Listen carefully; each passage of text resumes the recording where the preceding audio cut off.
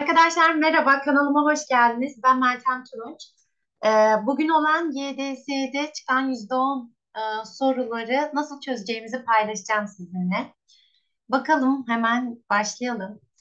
Ee, dördüncü soruyu vermişler. Today we take the appearance of dinosaurs for granted.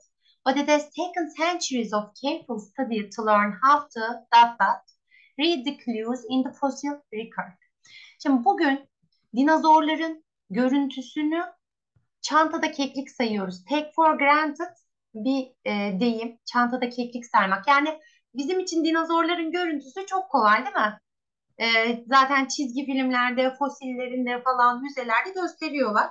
Aslında biz onları görmedik. Bunu neye borçluyuz? But it has taken centuries of careful study to learn how to read the clues in the fossil record.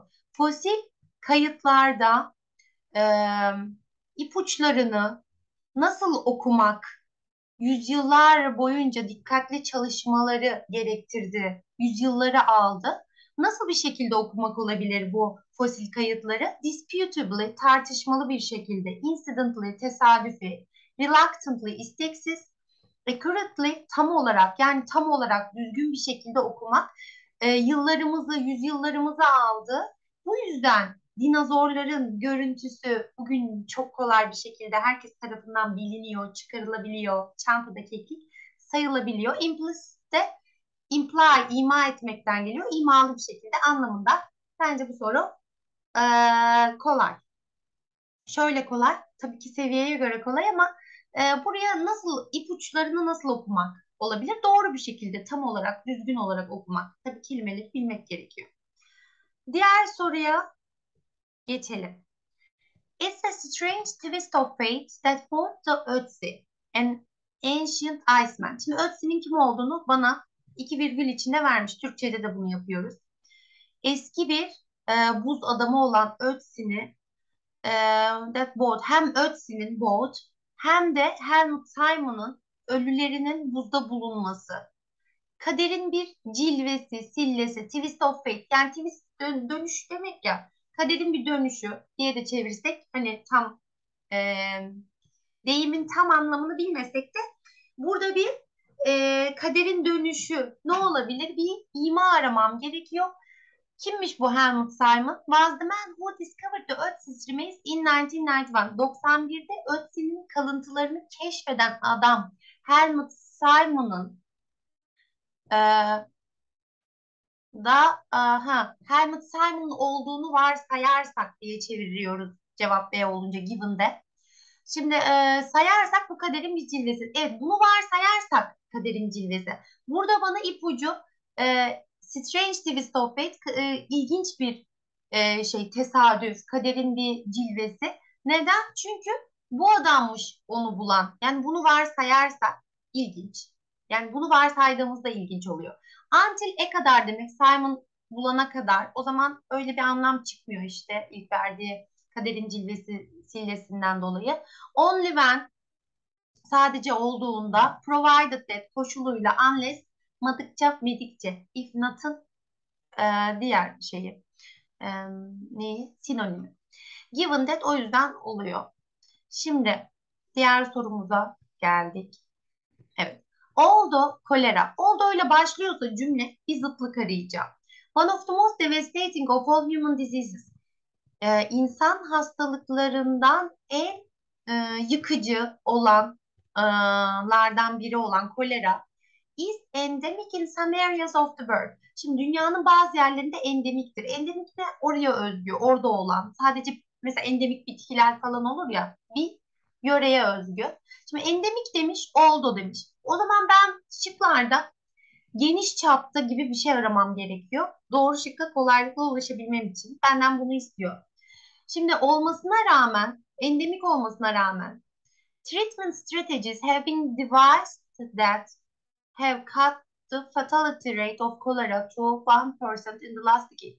Son 10 yılda yüzde bir e, koleranın ölümcüllük oranı has been devised that have cut. Uh, treatment stratejisinden bahsediyor. Yani ne, burada hiç endemiye karşı bir şey söylememiş.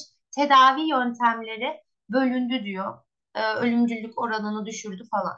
Se severe diarrhea and vomiting. Şimdi anlamını bilmenize gerek yok. İşte şiddetli bir şekilde kusma ya da ishal şu ilki tıptaki adı. That characterize this disease can lead to death due to dehydration.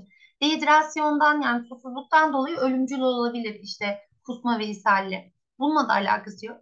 Is usually associated with massive migrations of people. İnsanların kütle şeklinde e, göç etmesine genellikle bağdaştırılır, sebep olur diyor. Burada massive migrations buradaki oldu ve endemik olması. Şimdi rağmen, endemik olmasına rağmen massive migrations'lara sebep oluyor. E, doğru şıkkı ulaştırıyor beni. Örneğin demiş, e, those occurring during war of famine, kıtlık ve savaş zamanında olan örneğin kitlesel, kütlesel halinde ne derler? Büyük e, çaptaki göçler. People recovering from it, ondan e, kurtulanlar, iyileşenler, continue to shed the organism in their fe, feçe, feçelerinde hala yani dışkılarında hala haftalarca iyileşseler bile e, şeyleri oluyor. İlk başta e, infection oldukları için aylar sürüyor kurtulmaları tamamen koleradan diyor. Bu da alakasız oldu. Yani oldu bağlacıyla alakasız oldu. One of the ways to prevent cholera is to identify and treat cholera cases in areas where is it is endemic. Bu çeldirici olabilir. Bilmeyen arkadaşlar Aa, burada endemik var, burada da endemik var ama öyle bir şey yok. Ee, prevent engel olmak demek. Kolerayı engel olmanın yollarından biri e, identify tanımını yapmaktır, tanımlamaktır ve kolerayı endemik olduğu bölgelerde kolerayı taşımayı tedavi etmektir. E, burada da onu e, neyinden e, teşhis etmek, işte m, tedavi etmekten bahsediyor. O yüzden olmaz. Zaten iki tarafta oldu var. Endemik endemik de olmaz. Geldik çeviri sorusuna. Genelde kaçırmıyorsunuz zaten ama nasıl hızlı çözülür? Önemli olan zaman kaybetmemek. Acupuncture generally helps elevate the symptoms of chronic ailments such as asthma that cannot be completely cured by Western drugs or that would produce an over dependence on those drugs. Şimdi benim için burada önemli olan ilk şey çeviride bu bir isim cümlesi mi, fiil cümlesi mi?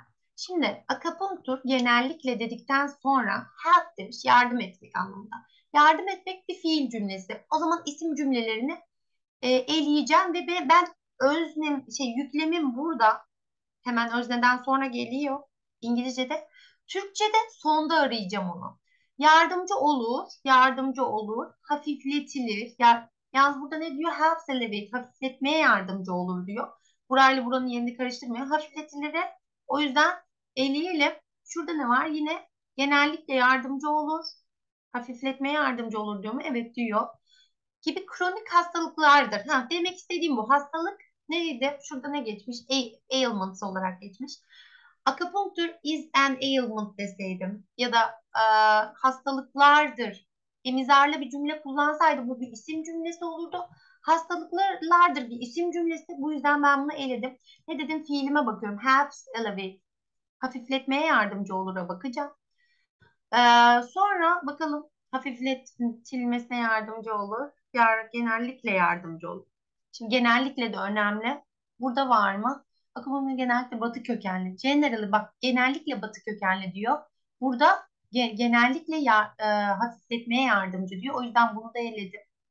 Akupunktur batı kökenli ilaçlarla tamamen tedavi edilemeyen ya da ilaçlara aşırı bağımlılık yaratan astım gibi kronik hastalıkların belirtilerinin hafifletilmesinde.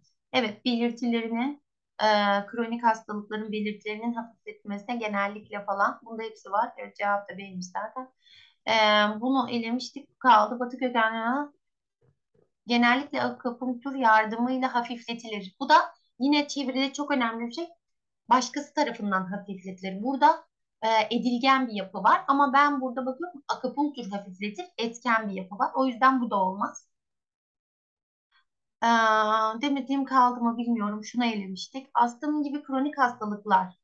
Şimdi burada da e, ne var? Astım, saç astım, astım gibi kronik hastalıklar. E, batı kökenli ilaçlarla tamamen tedavi edilmeyebilir ya da bu ilaçlar aşırı bağımlılık yaratabilir. Şurada aslında ne yapıyor? Bunu niteliyor. Ben bunu çevirirken nasıl çevireceğim? Detli kısımları Ö- önce çevirip cümleye kendinden öncekine bağlayacağım. Yani şöyle batı kökenli ilaçlarla tamamen tedavi edilemeyen örneğin astım gibi hastalıklar dediğim için evet batı kökenli tedavi edilemeyen diye çevirdiğim için detli kısımları yani e, isim cümlelerini bir kendinden önceki yere relative clause'ları, isim cümleleri noun clause, relative clause kendinden en son gelen cümleye bağlanarak çevriliyor. Onun başına geliyor. O yüzden E'yi de eledik.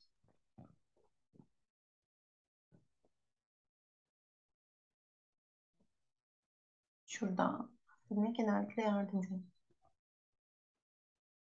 Evet. Bakalım diğer sorumuz nerede? Hmm, sanırım şey, diyalog gelecek. Evet. Şimdi diyalog sorularında da insan soru kaçırınca çok üzülüyor ama bunları da zorluyorlar. I can't stop worrying about things. Şimdi Jenny diyor ki, Jenny Steve, kimin konuştuğu da önemli. Jenny diyor ki, endişelenmekten kendimi alıkoyamıyorum. Every time I do something, I get very anxious. Ne zaman bir şey yapsam kendimi süper endişeli hissediyorum. Worry is just a waste of time. It steals your joy. Senin diyor sadece waste of time zaman kaybı. Endişelenmek zaman kaybı. Senin e, keyfini kaçırır diyor. I know it ruins my life. Hayatımı mahvettiğini biliyorum ama I can't help it. Yani elimde değil. It seems like a trait which is difficult to change. Değiştirmesi zor olan bir özellik gibi görünüyor. Biliyorsun. I always see the grass greener on the other side of the fence. Ben her zaman çitin diğer tarafındaki yeşilliği daha yeşil görürüm. Yani I can't look at the bright side. Yani hep bardağın e, hep başkasınınkini özenirim. Hep bardağın boş tarafını görürüm gibi parlak olan, ışıklı olan yeri göremem diyor. Olumsuz tarafını görürüm diyor. Hep endişeleniyorum. Sonra ona bir şey söylüyor ki o da diyor ki it's worth giving it a try. Burada anahtar cümlem burası. E, denemekte fayda var. Anlamında söylemiş. Bir şans versem iyi olur. At least en azından this way if I recognize my worries en azından bu yolla eğer endişelerimi fark edersem they won't spiral out of control. Kontrolden çıkmayacaklar diyor. Her şey kontrol altında olacak. Ne demiş olabilir ki? O da ona denemekte fayda var desin. If you frame your thoughts and let negative take over, it will be much more problematic. Eğer düşüncelerini e, çerçevelersen ve negatif e, tarafların ım, hakimiyet kurmasına izin verirsen daha da problematik hale gelecek diyor. Denemekte fayda var. Olmadı. It's the problem of overthinkers I guess. Bence çok düşünenlerin problemi. They think about issues. Olaylar hakkında defalarca over and over again çok düşünüyorlar by creating unrealistic scenarios. Ee, gerçekçi olmayan senaryolar yaratarak diyor. Bana da tanıdık geldi. Ben de yaparım. It's okay to worry about the unpleasant outcomes of an event that has already happened. Evet, e, olmuş bir olayın sonuçlarının kötü, nahoş olan sonuçları için endişelenmek tamam. But why do you worry about the future? Niye gelecek hakkında endişeleniyorsun? You never know what will happen. Asla ne olacağını bilemezsin. Bu güzel bir tavsiye olmuş ama denesem iyi olur diyor ya bir şans versem. Neye şans? You never know what will. Ne olacağını bilemezsin. Bakalım diğerine. There is some techniques to ease your worries. Bazı teknikler var. Ease, hafifletmek için senin endişelerini. I know it may not be easy to stick to them. Onlara tutunmak zor biliyorum. But it will pay off in the end. Sonunda bitecek anlamında pay off. Hani pay off borcu tamamen kapatmak anlamında sonunda başarılı olacaksın diyor. O da bir şans versem it's worth giving it a try. Ee, bir şans versem e, evet iyi olur diyor. En azından bu yolla my worries, hatalarımı, endişelerimi fark ederim. Kontrolden çıkmazlar. Tekniklerden bahsediyor. Yani belki sınavda olsam bana C de çok mantıklı gelir de şu an şık cevabı da görüyorum ya e, teknikler falan cevap olarak bunu vermesi daha şey e, daha mantıklı geldi. E'ye bakalım. Worrying doesn't change the result. Endişelenmek sonucu değiştirmez. It just complicates issues further. Sadece olayların daha da karmaşıklaşmasını sağlar. You'll learn how to stop it when you real, realize this. Nasıl, ne zaman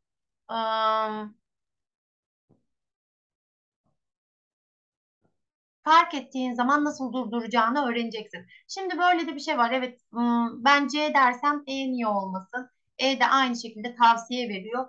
Bunu da düşünebiliriz. O yüzden tekniklere karşılık e, deneyim falan demesi güzel. E, 68'e geldik. Because of a decrease in the sense of taste. Şimdi tat, tat duyusundaki azalmadan dolayı because of o şekilde çevirebiliriz. Yaşlı insanlar, older people often increase their salt intake, tuz alınımını arttırırlar yaşlı insanlar genellikle. As well as sugar, aynı zamanda şekeri. Which can, ben kendim yaşlıyım herhalde, gitgide arttırdım şekeri. Which can contribute to high blood pressure and nutrition loss. Ki diyor bu şeker ve işte tuzun çok alınımı.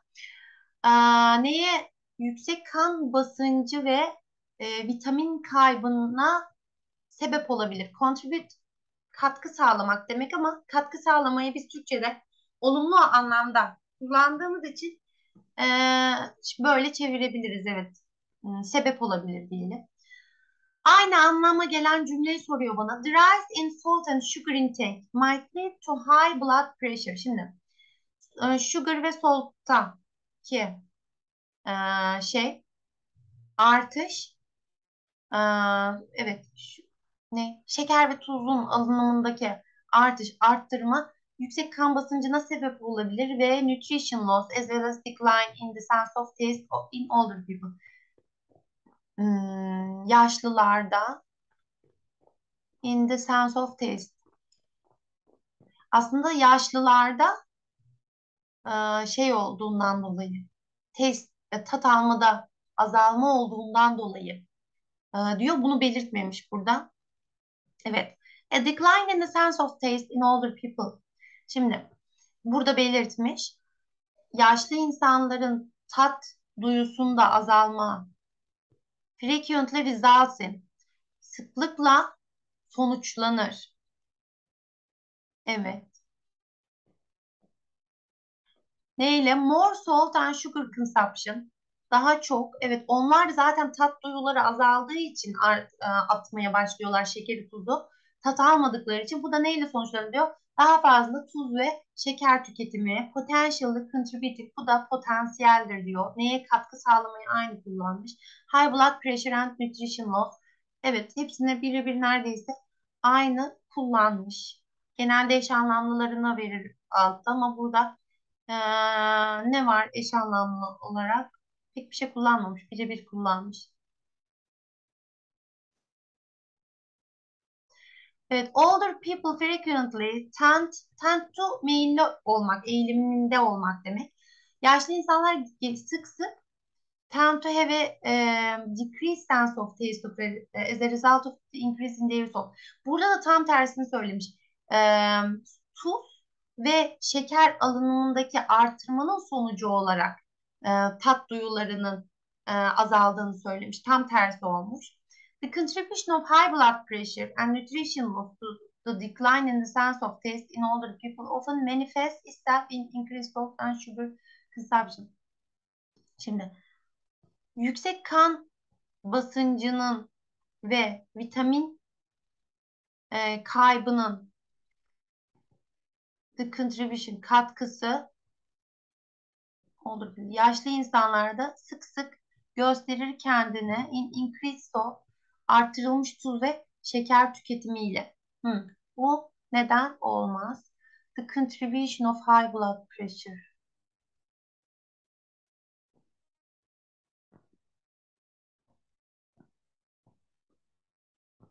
Hı, burada da contribution of evet yüksek kan basıncı ve vitamin eksikliğini e, yaşlılardaki tat almadaki azalmaya katkısını buraya bağlamış. An increased intake of salt and sugar arttırılmış bir e, tuz ve şeker alımı ve bu yüzden a decreased sense of taste Bu yüzden mi azalıyor yaşlılardaki? Ee, aslında azaldığı için arttırıyorlar. Onlar çok aldığı için azalmıyor. Burada sebep sonuç ilişkisinde terslik var yine. Ondan olmuş. Biraz konsantre olmak gerekiyor. Ben bile şu an ekranda anlattığım için tam açıklayamamış olabilirim ama e, sınav esnasında bunları görüyoruz, daha iyi görebilirsiniz. Evet. 74'e geldik. Son soru sanırım. Anticipatory socialization is a term used to describe a variety of programs offered by organizations that allow prospective employees to gain work experience prior to full-time employment. Çok uzun bir cümle olmuş. Korkutmamasın sizi. Şimdi ben de bilmiyorum anticipatory socialization ne demek. Ama hemen bilmediğiniz bir şey varsa arkasından açıklıyor onu. Bir terimdir. Neyi tanımlamak için describe? A variety of programs. Bir e, çeşit programları, bir sürü programı offered by organizations. Which is offered'tir aslında burası. Yani organizasyonlar tarafından teklif edilen programları. Bu organizasyonları da yeniden bir e, non-clause'la açıklamış.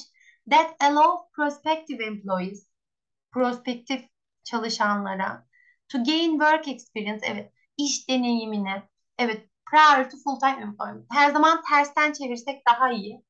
Şimdi tam zamanlı çalışmaya başlamadan önce iş deneyimi kazanılması için e, verilen bir e, çeşit programdır Anticipated Socialization. Yani ne demek istiyor? Tam zamanlı çalışmadan önce bir şans veriliyor. Hani bir staj gibi, bir işte deneme süresi gibi.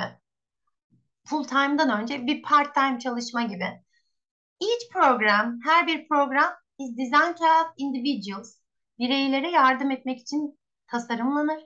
Genellikle high school or college student, genellikle de evet staj gibi aslında lise ve e, kolej öğrencileri için develop an accurate self-concept. Develop, accurate'lı vardı sınavın başında tam olarak, tam anlamındaydı. Develop an accurate self-concept, kendi konseptini geliştirmesi, tam olarak geliştirmesi. Gain a realistic understanding of various career fields. E, gerçekçi bir anlayış, çeşitli kariyer alanlarında gerçekçi bir anlayış elde etmek için er, en organizational environment, organizasyonel çevre ve allow a check for a fit between individual characteristics and the demands of the different jobs. Farklı mesleklerin talepleri ve bireysel karakteristiklerini e, uyum arasında uyum sağlamayı için bir kontrol. They also allow participants to become accustomed to the informal side of an organization. Şimdi bunlar aynı zamanda adayların, katılımcıların e, alışmasına e, resmi olmayan organizasyonlara true exposure maruz kalmalarına to less structured employee networks and norms that exist within the hiring company. Burada da bir şeyler söylemiş. Ne demiş? Yani bunun yararlarından bahsetmiş. Neler sağlayabileceğinden. Through this program, bu programlar aracılığıyla prospective employees can become acclimated to an organization formal mission uh, policies and culture prior to fully joining organization olabilir bu. Research into these programs has expanded recently. Son zamanlarda bu programlar üzerine araştırmalar arttı diyor. Genişletildi. Bu çok genel bir cümle oldu. Ha, aymış zaten. Evet, genel bir cümle oldu. Araştırmalar şunu gösteriyor ki. Şimdi şeylerde bu cümle tamamlamalarda paragrafın genel bir şeyden özel bir şeye geçmesi, genel an, genel bahsetmesi, spesifikleşmesi, örneklendirmesi önemli. Şimdi burada araştırmalar gösteriyor ki dedi burada tekrar özele geçti. Burada da örnek ne, ne olduğunu tanımlamıştık olmaz. Current şu andaki işçiler de assist yardım etmek asistan da oradan geliyor. Students assist students öğrenci during their stay in the organization report feeling satisfied because they think that their organization improve their skill as, an, as mentor. Mentor olarak onların yeteneklerini onaylayan organizasyonlar falan Such programs, böyle programlar appealing to most organizations as they have additional workforce but they don't need to pay for it. True, sometimes it takes time. Yani diğerlerine çok da şey yapamadım. Şimdi olmadığı için çok da iyi açıklanamıyor. It's estimated that three quarters of a college student e, kolej öğrencilerinin 3 three quarters of college evet 3 çeyreği hesaplanıyor. Complete an internship during the academic career. Akademik kariyerleri esnasında internshiplerini tamamladığı hesaplanıyor. Bununla ilgili kendinden sonra bir bilgi vermedi. Evet bu programlardan bahsetti. Ne olduğundan, neler yaptığından. Daha sonra bu programlar aracılığıyla prospective employees'ten formal mission dedi. Şurada da sonra şöyle bir ipucu var. Informal side dedi. Bir formalını gösterdi, bir informalını gösterdi. O yüzden cevabımız Adana. Başka soruda ha, varmış burada.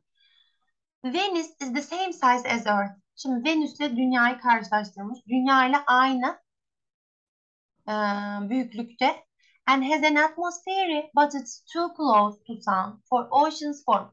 Aynı da atmosfere sahip ama um,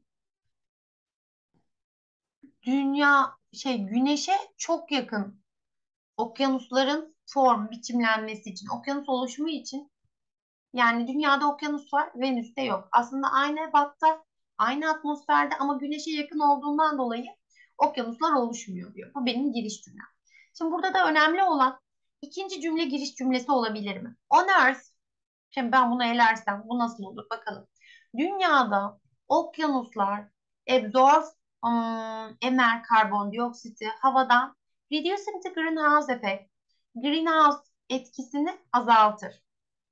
But on the Venus ama Venüs'te there are no oceans ama okyanus yoktur. So bu yüzden tüm karbondioksitler erupted by the planet volcanoes evet volkanlar tarafından ortaya çıkan patlayan bütün karbondioksitler has stayed in its atmosphere. Onun atmosferinde kalır.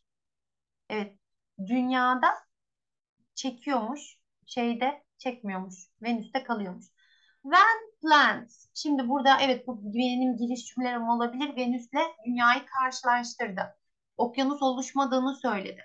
Sonra dünyada okyanusların oluşma sebebini e, okyanusların karbondioksiti havadan çektiğini, greenhouse etkisini e, azalttığını, daha sonra da Venüs'ten bahsetti.